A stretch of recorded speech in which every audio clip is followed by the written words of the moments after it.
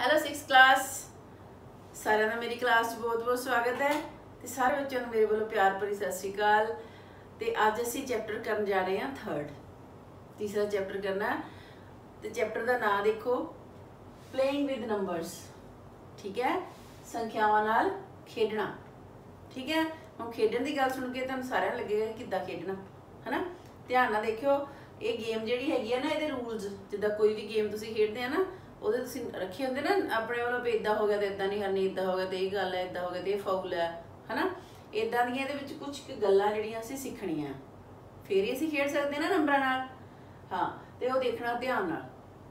ਅਸੀਂ ਕਿੱਦਾਂ ਕਿੱਦਾਂ, ਕਿਹੜੀ ਕਿਹੜੀ ਚੀਜ਼ ਉਹ ਆਪਣੇ ਦਿਮਾਗ 'ਚ ਰੱਖਣੀ ਆ, ਤੇ ਫਿਰ ਜਦੋਂ ਅਸੀਂ ਨੰਬਰਾਂ ਨਾਲ ਖੇਡਾਂਗੇ, ਫਿਰ ਸਾਡੇ ਕੰਮ ਆਏਗੀ। ਠੀਕ ਹੈ? ਚਲੋ, ਸਭ ਤੋਂ ਪਹਿਲਾਂ ਅਸੀਂ ਦੇਖਦੇ ਹਾਂ ਫੈਕਟਰਸ ਐਂਡ ਮਲਟੀਪਲਸ ਯਾਨੀ ਕਿ ਗੁਣਨਖੰਡ ਤੇ ਗੁਣਜ। ਦੋ ਚੀਜ਼ਾਂ। ਜਿਹੜੇ ਅਸੀਂ ਗਿਣਤੀ ਕਰਦੇ ਆ ਨਾ ਅਸੀਂ ਕਾਊਂਟਿੰਗ ਕਰਦੇ ਆ 1 2 3 4 5 6 7 8 9 10 11 12 13 14 15 16 17 18 19 20 ਖਤਮ ਨਹੀਂ ਨਾ ਹੁੰਦੀ ਇਹ? ਨਹੀਂ ਖਤਮ ਹੁੰਦੀ ਇਹ। ਮੈਂ ਤੁਹਾਨੂੰ ਪਹਿਲਾਂ ਵੀ ਦੱਸਿਆ ਕਿ ਇਹ ਖਤਮ ਨਹੀਂ ਹੁੰਦੀ ਕਿਤੇ ਵੀ।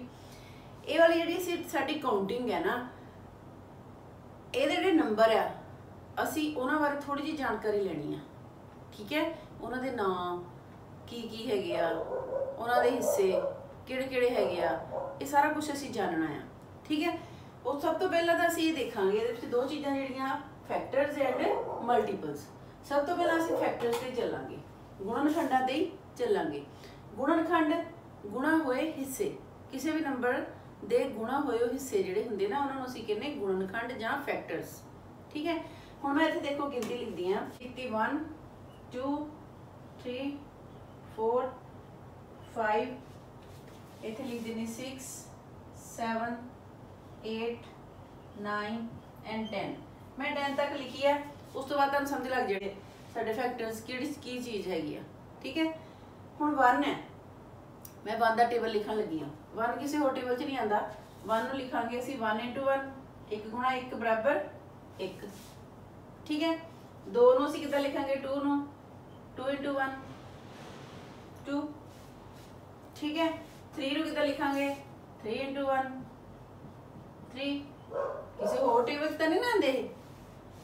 ਠੀਕ ਹੈ ਨਾ 3 ਕਿਸੇ ਹੋਰ ਟੇਬਲ 'ਚ ਆਉਂਦੇ ਹੀ ਨਹੀਂ 2 ਵੀ ਕਿਸੇ ਹੋਰ ਟੇਬਲ 'ਚ ਨਹੀਂ ਆਉਂਦੇ ਇਸ ਕਰਕੇ ਜਿਹੜਾ 4 ਹੈ 4 ਨੂੰ ਹੁਣ ਕੀ ਲਿਖਾਂਗੇ ਅਸੀਂ 4 1 ਇਸ ਤੋਂ ਇਲਾਵਾ ਵੀ ਲਿਖ ਸਕਦੇ ਹਾਂ ਅਸੀਂ ਕੁਝ ਇਸ ਤੋਂ ਇਲਾਵਾ ਵੀ ਕੁਝ ਲਿਖ ਸਕਦੇ ਨਾ ਅਸੀਂ 2 2 4 ਹੁੰਦੇ ਨਾ ਸੋ ਅਸੀਂ ਉਹ ਵੀ ਲਿਖ ਸਕਦੇ ਹਾਂ ਇੱਥੇ 2 2 ਠੀਕ ਹੈ 5 ਨੂੰ ਅਸੀਂ ਕਿੱਦਾਂ ਲਿਖ ਸਕਦੇ ਹਾਂ 5 1 6 ਨੂੰ ਕਿੱਦਾਂ ਲਿਖ ਸਕਦੇ ਹਾਂ ਅਸੀਂ 6 1 ਐਂਡ 2 ਦੇ ਟੇਬਲ 'ਚ ਵੀ ਆਉਂਦੇ ਆ ਇਹ।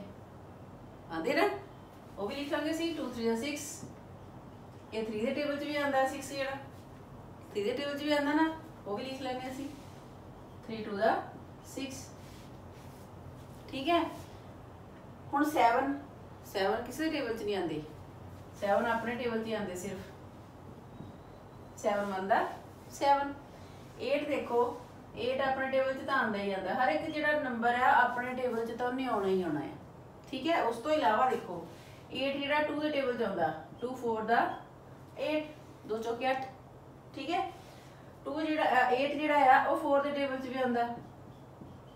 ਹੋਰ ਤਾਂ ਇਹਨੇ ਕਿਸੇ ਟੇਬਲ 'ਚ ਆਉਂਦਾ 8 ਹਨਾ? 2 ਦੇ ਟੇਬਲ 'ਚ ਆਉਂਦਾ ਆ 3 'ਚ ਨਹੀਂ ਆਉਂਦਾ 4 'ਚ ਆਉਂਦਾ ਆ 5 'ਚ ਨਹੀਂ ਆਉਂਦਾ 6 'ਚ ਵੀ ਨਹੀਂ ਆਉਂਦਾ 7 'ਚ ਵੀ ਨਹੀਂ ਆਉਂਦਾ ਮਗਾ ਆਪਣੇ ਟੇਬਲ 'ਚ ਹੀ ਆਉਂਦਾ ਹੋਇਆ 8 'ਚ। ਹੁਣ ਇਦਾਂ ਅਸੀਂ ਦੇਖੀਏ 9 ਨੂੰ। 9 ਆਪਣੇ ਟੇਬਲ 'ਚ ਆਉਂਦਾ ਇੱਕ। ਫਿਰ 3 ਦੇ ਟੇਬਲ 'ਚ ਆਉਂਦਾ 3 3 ਦਾ 9 ਹੋਰ ਕਿਸੇ ਟੇਬਲ 'ਚ ਨਹੀਂ ਆਉਂਦਾ 9 ਹੈਨਾ? 10 ਨੂੰ ਲੈ ਲਈਏ ਅਸੀਂ। ਤਾਂ 10 1 ਦਾ 10 ਹੁੰਦਾ। ਇੱਕ 2 5 ਦਾ 10 ਹੁੰਦਾ। ਜਾਂ 5 2 ਦਾ 10 ਹੁੰਦਾ। ਠੀਕ ਹੈ? ਭਲੇ ਇਹ 1 ਦੇ ਫੈਕਟਰ ਹੈ, ਇਹ 2 ਦੇ ਫੈਕਟਰ ਹੈ, ਇਹ 3 ਦੇ ਫੈਕਟਰ ਹੈ, ਇਹ 4 ਦੇ ਫੈਕਟਰ ਹੈ। ਇਹ 5 ਦੇ ਫੈਕਟਰ ਹੈ, ਇਹ 6 ਦੇ ਫੈਕਟਰ ਹੈ। ਠੀਕ ਹੈ? ਇਹ 7 ਦੇ 8 ਦੇ, ਇਹ 9 ਦੇ, ਇਹ 10 ਦੇ। ਇਹਨਾਂ 'ਚ ਇੱਕ ਖਾਸ ਗੱਲ ਜਿਹੜੀ ਅਸੀਂ ਕਿਹੜੀ ਨੋਟ ਕੀਤੀ ਹੈ? ਠੀਕ ਹੈ? ਇੰਪੋਰਟੈਂਟ ਚੀਜ਼ ਕੀ ਹੈ? ਕਿ ਹਰ ਇੱਕ ਜਿਹੜਾ ਨੰਬਰ ਹੈ, ਉਹਦਾ ਮਲ- ਜਿਹੜਾ ਇੱਕ ਹੀ ਹੁੰਦਾ ਨਾ। 1 ਜਿਹੜਾ ਆ, ਉਹ ਹਰ ਇੱਕ ਨੰਬਰ ਦਾ ਫੈਕਟਰ ਹੁੰਦਾ। ਠੀਕ ਹੈ? ਤੁਸੀਂ ਦੇਖ ਸਕਦੇ ਆ ਸਾਰਿਆਂ ਦੇ ਵਿੱਚ 1 1 1 1 ਆਉਂਦਾ। ਠੀਕ ਹੈ? ਤੇ ਦੂਸਰੇ ਨੰਬਰ ਤੇ ਜਿਹੜੀ ਉਹ ਸੰਖਿਆ ਆਪ ਹੁੰਦੀ ਹੈ ਜਿਹੜਾ ਨੰਬਰ ਉਹ ਖੁਦ ਹੁੰਦਾ, ਜਿਹਦੇ ਅਸੀਂ ਫੈਕਟਰਸ ਪਤਾ ਕਰਨੇ ਆ, ਉਹ ਨੰਬਰ ਆਪਣਾ ਵੀ ਫੈਕਟਰ ਹੁੰਦਾ। ਠੀਕ ਹੈ? ਦੋ ਚੀਜ਼ਾਂ ਤਾਂ ਹੋ ਗਈਆਂ, ਇੱਕ 1 ਤੇ ਇੱਕ ਉਹ ਨੰਬਰ ਆਪ। ਦੋ ਫੈਕਟਰ ਪੱਕੇ ਆ। ਇਹ ਦੇਖ ਲਓ। 2 ਤੇ 1 ਜੇ 2 ਦੇ ਫੈਕਟਰ ਹੈ 2 ਤੇ 1 ਠੀਕ ਹੈ? 3 ਦੇ ਫੈਕਟਰ ਹੈ 3 ਤੇ 1 ਠੀਕ 7 ਦੇ ਫੈਕਟਰ 7 ਦੇ 1 ਇਹ ਦੋ ਫੈਕਟਰ ਹਰੇਕ ਦੇ ਹੁੰਦੇ ਆ। ਉਸ ਤੋਂ ਇਲਾਵਾ ਕਿਹੜੇ ਫੈਕਟਰ ਹੁੰਦੇ ਆ? ਜਿਹੜੇ ਜਿਹੜੇ ਟੇਬਲ ਦੇ ਵਿੱਚ ਉਹ ਨੰਬਰ ਆ ਜਾਵੇ। ਉਹ ਫੈਕਟਰ ਹੁੰਦਾ ਦਾ। ਹੁਣ ਇੱਥੇ 2 ਦੇ ਟੇਬਲ 'ਚ ਆਉਂਦਾ 2 2 ਦਾ 4 ਇਹਦਾ ਮਤਲਬ ਇਹ ਨਹੀਂ ਕਿ ਦੋ ਵਾਰੀ 2 ਉਹਦਾ ਫੈਕਟਰ ਹੈ 2 ਉਹਦਾ ਫੈਕਟਰ ਹੈ, ਬਸ। ਇਹ ਦੋ ਵਾਰ 2 ਨਹੀਂ, ਅਸੀਂ ਉਹਦਾ ਫੈਕਟਰ ਜੇ ਇਹਦੇ ਫੈਕਟਰ ਲਿਖਨੇ ਆ, ਤੇ ਇਹਦੇ ਫੈਕਟਰ ਕੀ ਹੋਣਗੇ? ਇਹਦਾ ਫੈਕਟਰ ਹੋਏਗਾ 1 ਇਹਦਾ ਫੈਕਟਰ ਹੋਏਗਾ 2 ਇਹਦਾ ਫੈਕਟਰ ਹੋਏਗਾ 4 ਠੀਕ ਹੈ? 1 2 ਤੇ 4 ਦੋ ਵਾਰ 2 ਹੈ ਤੇ ਦੋ ਵਾਰ 2 ਨਹੀਂ ਹੈ ਠੀਕ ਹੈ? 2 ਤੇ 2 ਹੀ ਹੈ ਨਾ।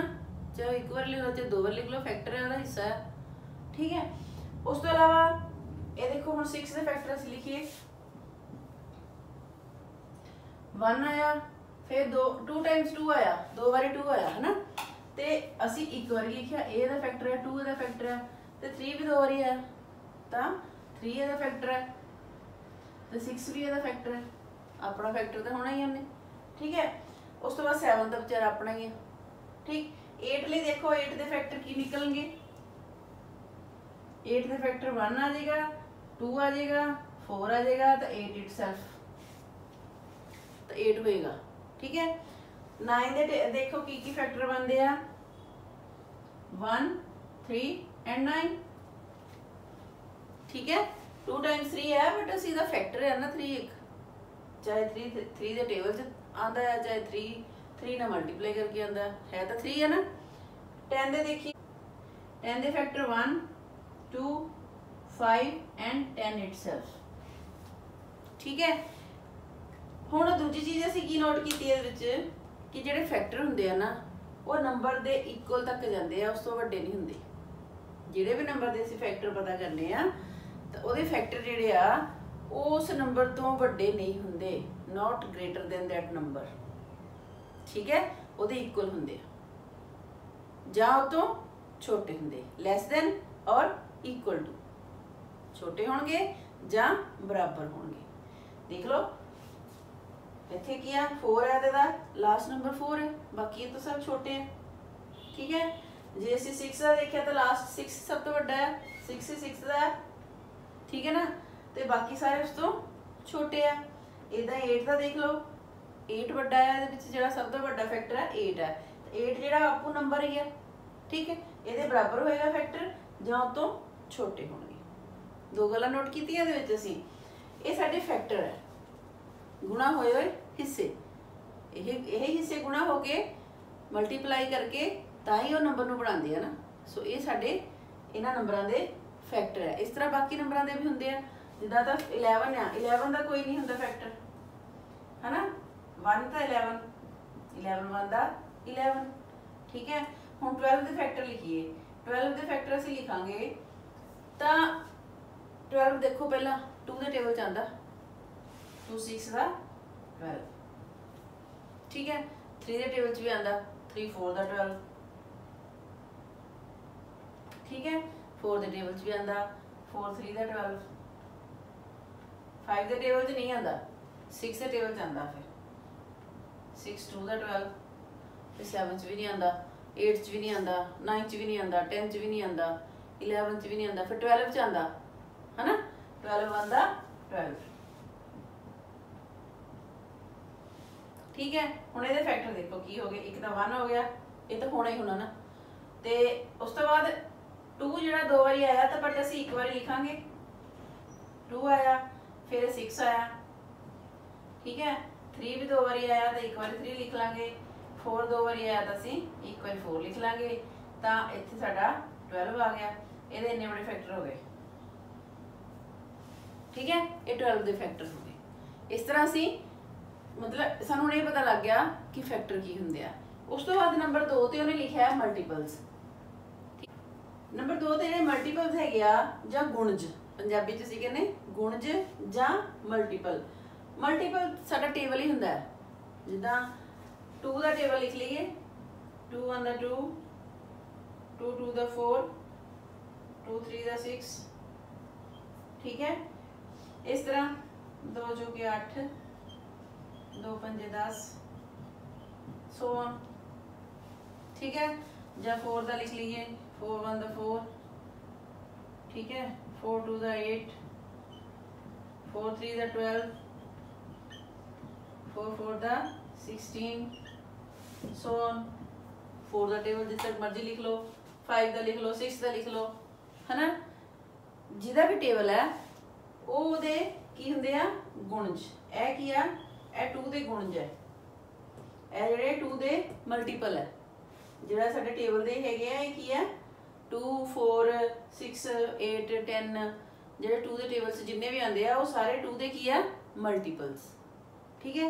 ਇਹ 4 ਦੇ ਟੇਬਲ ਵਾਲੇ ਸਾਰੇ 4 ਦੇ ਮਲਟੀਪਲਸ ਹੈ। 4 ਦੇ ਗੁਣਜ ਹੈ ਠੀਕ ਹੈ? ਇਹਨਾਂ ਦੀ ਖਾਸ ਗੱਲ ਹੈ ਕਿ ਜਾਂ ਤਾਂ ਇਹ ਜਿਹੜਾ ਨੰਬਰ ਹੈ ਉਹਦੇ ਬਰਾਬਰ ਹੋਣਗੇ ਤੇ ਜਾਂ ਉਹ ਤੋਂ ਵੱਡੇ ਹੋਣਗੇ। ਠੀਕ ਹੈ? ਕਿਉਂਕਿ ਇੱਕ 4 1 ਦਾ 4 ਆਇਆ, ਫਿਰ ਅੱਗੇ 8 ਫਿਰ ਗਾਂ ਵੱਧਦੇ ਜਾਂਦੇ ਨਾ। ਇਸ ਕਰਕੇ ਇਹ ਜਾਂ ਤਾਂ ਉਹਦੇ ਬਰਾਬਰ ਹੋਏਗਾ, ਜਾਂ ਜਿਹੜੇ ਆ, ਉਸ ਤੋਂ ਵੱਡੇ ਹੋਣਗੇ। ਉਸ ਤੋਂ ਇਲਾਵਾ ਇਹਨਾਂ ਦੀ ਸੰਖਿਆ ਜਿਹੜੀ ਆ ਨਾ ਅਸੀਮਤ ਹੁੰਦੀ ਹੈ। ਕਿਤੇ ਵੀ ਪਹਾੜਾ ਮੁੱਕਦਾ ਨਹੀਂ ਹੈ 10 ਤੇ ਜਾ ਕੇ ਨਹੀਂ ਮੁੱਕਦਾ। 11 ਦਾ 12 ਦਾ 13 ਦਾ 20 ਦਾ 25 ਦਾ 100 ਦਾ, ਪਹਾੜੇ ਚੱਲਦੇ ਰਹਿੰਦੇ। ਜਿਹੜੇ ਸਾਡੇ ਗੁਣਜ ਹੁੰਦੇ ਨਾ, ਇਹ ਅਸੀਮਤ ਹੁੰਦੇ ਆ ਅਨਲਿਮਿਟਿਡ ਠੀਕ ਹੈ? ਇਹ ਕਿਤੇ ਵੀ ਖਤਮ ਨਹੀਂ ਹੁੰਦੇ। ਠੀਕ? ਜਿਹੜੇ ਮਲਟੀਪਲਸ ਹੈਗੇ ਆ, ਇਹ ਕਿਤੇ ਵੀ ਖਤਮ ਨਹੀਂ ਹੁੰਦੇ। ਬਟ ਜਿਹੜੇ ਸਾਡੇ ਗੁਣਨਖੰਡ ਸੀਗੇ ਫੈਕਟਰ ਸੀਗੇ, ਉਹ ਖਤਮ ਹੁੰਦੇ ਸੀਗੇ ਨਾ। ਨੰਬਰ ਦੇ ਬਰਾਬਰ ਤੇ ਜਾ ਕੇ ਖਤਮ ਹੋ ਜਾਂਦੇ ਸੀਗੇ। ਉਹਨਾਂ ਦੀ ਜਿਹੜੀ ਕਾਊਂਟਿੰਗ ਹੈ ਉਹ ਲਿਮਿਟਿਡ ਹੁੰਦੀ ਹੈ। ਠੀਕ ਹੈ? ਇਹ ਗੱਲਾਂ ਯਾਦ ਰੱਖਣੀਆਂ। ਤੇ ਇਹਦੇ ਨਾਲ ਨਾਲ ਹੋਰ ਗੱਲਾਂ ਵੀ ਮੈਂ ਦੱਸ ਦਾਂਗੀ।